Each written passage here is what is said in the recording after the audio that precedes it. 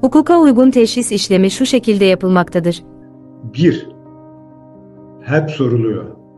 Kanunda yazmasa bile teşhiste müdafi bulunabilir. Hiç kimse buna itiraz edemez. 2. Sonradan gittiniz. Teşhis tutanağına baktınız. Öncelikle bakın. Şöyle bir aydınlatma yapılmış mı? Kolluk önce soracak. Tarif et diyecek. Bu tarifi aldıktan sonra o tarife uygun kişileri camın arkasına koyacak. Yani kişi işte uzun boylu, sarışındı, zayıftı deyip oraya e, dört tane e, kısa boylu, esmer, şişman, bir tane sarışın, uzun boylu olmaz. Benzi iki. Ve şu hatırlatma yapılacak. Bunlardan biri olmayabilir. Çünkü ne olsun? Kişi oraya odaklanıp illa da birini teşhis etmeyeyim demesin. Bu şekilde yapıldığı zaman teşhis hakikaten çok önemli bir delil.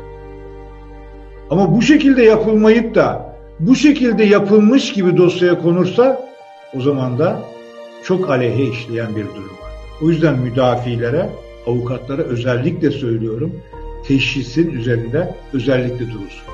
Ve şunu mutlaka baksınlar.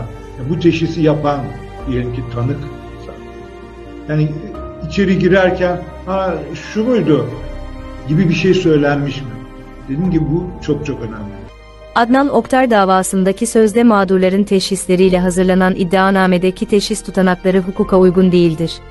Adnan Oktar davasındaki teşhis tutanağı, yukarıda açıklamaları ve fotoğrafları bulunan kişiler müşteki şahsın ifadesinde bahsettiği cinsel taciz olaylarını gerçekleştiren kişilerin olduğunu gösteren teşhis tutanağıdır.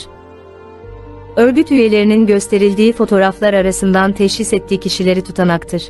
Dikkat edilirse fotoğraflar arasından teşhis ettiği ifadesi yer almaktadır. Özellikle belirtmek gerekir ki, ceza davasında sadece fotoğraf teşhisine dayalı olarak hüküm kurulamaz.